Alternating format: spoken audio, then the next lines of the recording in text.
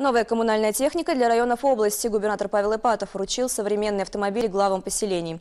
Всего восемь ключей были переданы в ходе торжественной церемонии, которая прошла на территории регионального правительства. Это уже не первое поступление спецтехники. В ноябре года в муниципальное образование области уже были поставлены четыре единицы аналогичных вакуумных машин.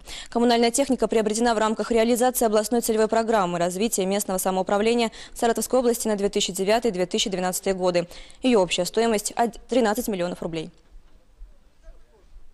За годы реализации программы 650 единиц техники было вручено.